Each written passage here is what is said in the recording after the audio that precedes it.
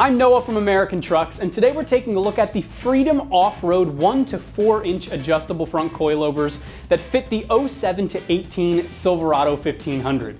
Now these front coilovers are tailored towards that Silverado owner who's looking to lift or level their truck's front ride height and gain some on and off-road suspension performance. These are just front coilovers and these guys are fully adjustable, which means you can adjust them to the ride height you might have your truck's rear set to, or you can just raise the front if you're trying to clear some big wheels and tires without them rubbing. Now the coilovers can raise the front end of your Silverado from a minimum of 4 inches to a maximum of 1 inch. And as far as tire size and ride height goes with your Silverado, with this kit at max height, you should definitely be able to clear a set of 33 inch tires no problem. So you can really dial your truck in and get it sitting exactly how you want to with full control. Now this also opens the door for flexibility with running different tire sizes as well, which I think is a huge bonus. Now sometimes you have a static lift setup and it fits great with 33s, and that's where front coilovers that are adjustable come into play and really shine. Now adjustable front suspension is really the end-all be-all way to buy once and have lots of freedom to continue building and customizing. Now these are gonna ride and perform a lot better than a leveling kit that just plops on the top of the factory suspension as well, since they're designed to ride and perform higher than the factory suspension. Now looking at the construction of these coilovers, these are one of the farthest adjusting front coilovers I've personally ever seen, and 4 inches of adjustability is very impressive in my opinion. Now these guys from Freedom Off-Road have a higher than stock pressured nitrogen charge inside of them so that you get some better ride performance as well as much less body roll. Now Freedom Off-Road designs these coilovers so that you not only get good performance, but long lasting performance as well. These guys actually come with a one year wear and tear warranty. They seem to be playing a dangerous game and that wear and tear warranty basically tells me that you're good to go out and jump your truck.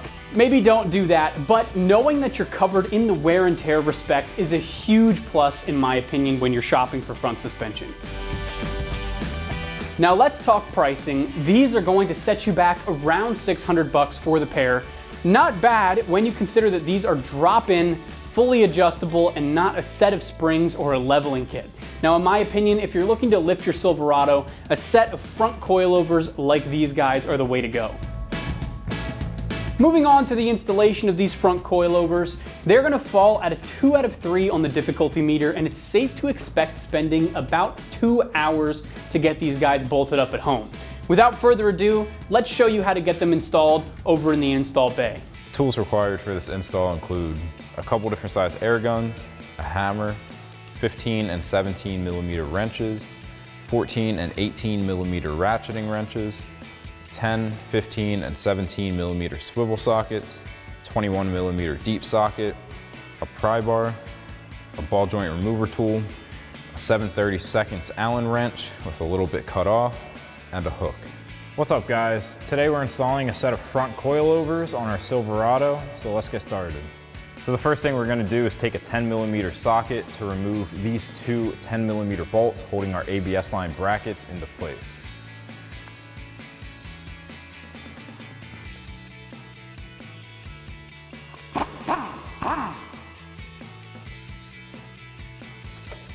And we pop that bracket out of place we're gonna throw our bolt back in so we don't lose it.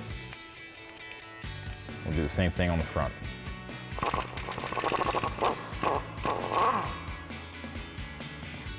Next we can remove our sway bar end link. Now you're gonna wanna do this one after another on each side. That way we have it completely freed up. We can pull our sway bar up to get our end link out. So I've got a 15 millimeter socket and wrench to take this off.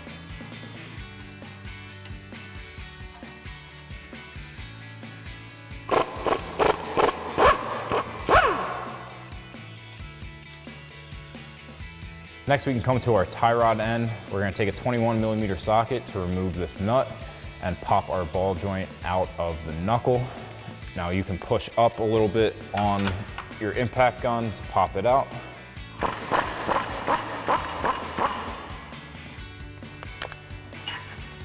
And then we'll push that off to the side.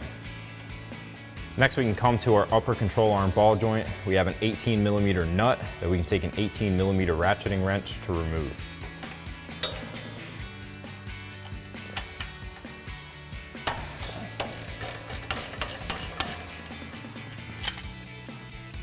Now we're gonna leave that nut a couple threads on and then we can bang the knuckle with a hammer to break our ball joint free. So I'm just gonna turn the knuckle to the side to get a better angle. And we'll take a hammer and smack the knuckle here to pop that free.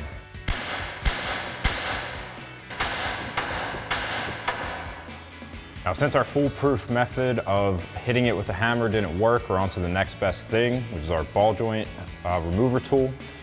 We have the top here sitting on the top of the knuckle, the bottom is on the stud, and it'll tighten and pop that free. So I've got a 19 millimeter wrench to tighten down this bolt, that'll put the pressure on it and pop our ball joint out.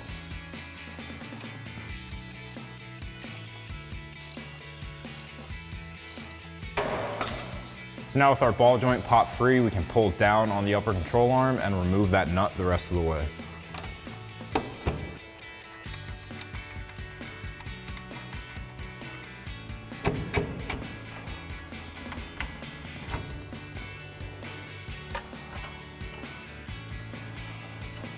Next, we can come to the top of our strut tower and loosen up these three 18 millimeter nuts.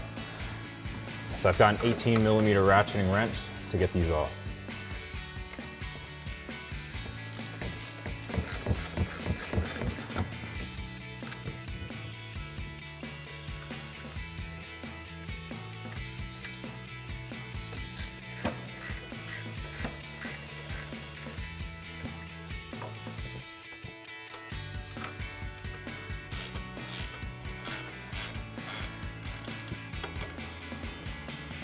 Now with the nuts at the top of our strut tower loosened, we can come down to the bottom and remove our two lower strut bolts. We've got a 17 millimeter socket for our bolt side and a 17 millimeter wrench for the nut side.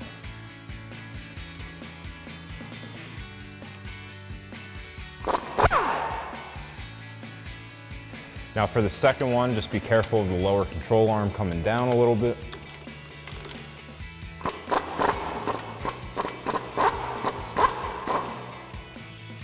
Now with our lower strut bolts removed, we can go back up top and fully remove our nuts and pull our strut out. So we'll get back in there with that same 18 millimeter ratcheting wrench to do so.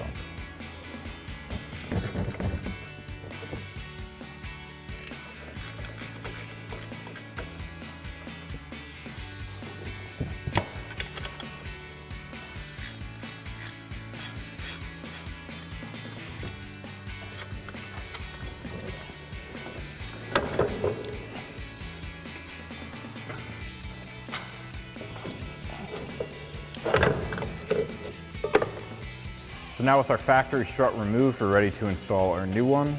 So we'll slide this up into place, get our nuts on up top, just hand tight, and then we can get the bolts through the bottom.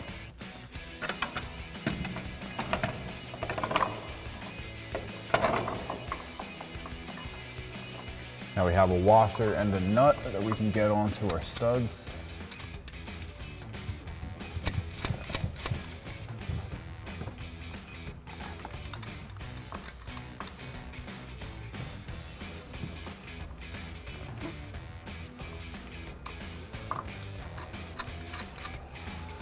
Next we can come to our lower control arm and thread in our two bolts.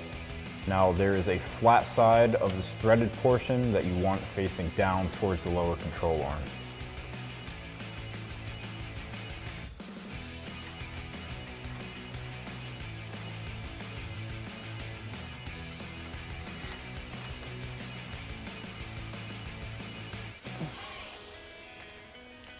And then we'll grab our 17 millimeter socket to tighten these down.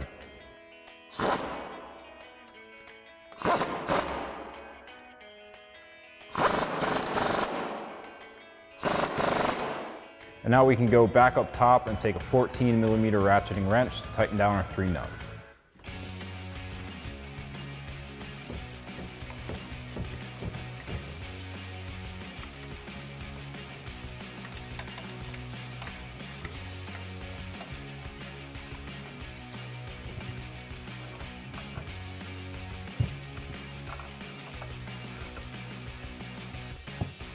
Next, we can reconnect our upper control arm ball joint to the knuckle.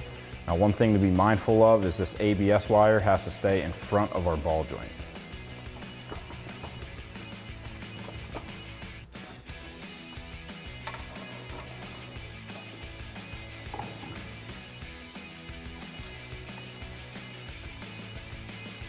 Next, we can grab an 18 millimeter ratcheting wrench to tighten down our nut. Now, if the stud does spin, you can grab a 7 seconds Allen wrench. I cut a little bit off the end here because as the stud gets pulled down, it'll get trapped between the stud and the axle.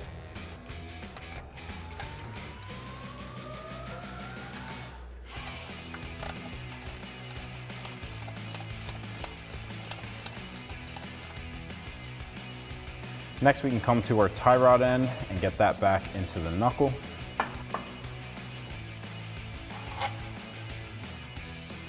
And then we'll grab our nut and thread that on the other side. And then tighten that down with a 21 millimeter socket. Now at this point, you wanna play catch up on the other side and we're gonna install our sway bar end links together and tighten those down together. So we'll get that side situated and then come back and do our end links. So now we can slide our end link into place, slide our bolt up and through, pull down on our sway bar a little bit. We'll get our bushing in and then our nut. Now at this point, get your end link in on the other side and then we can take our 15 millimeter socket and wrench and tighten this down.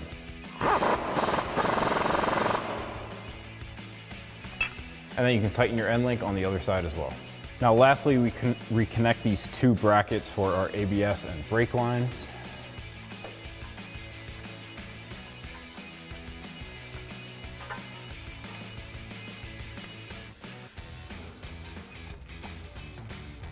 And then we'll tighten those down with our 10 millimeter socket.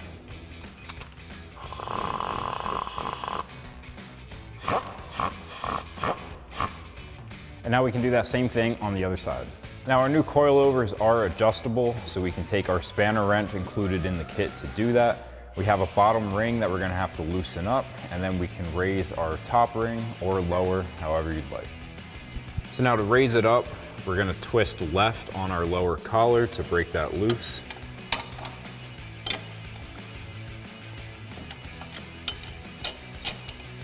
And then we can turn to the right on our upper one.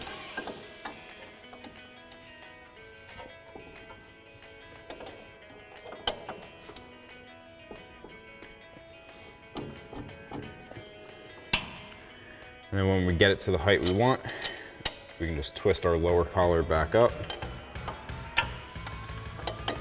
and then twist that to the right to lock that down. So that'll wrap up this review and install of the Freedom Off-Road 1 to 4 inch adjustable front coilovers for your 2007 to 18 Silverado 1500. Thank you for watching and for all things Silverado, keep it right here at AmericanTrucks.com.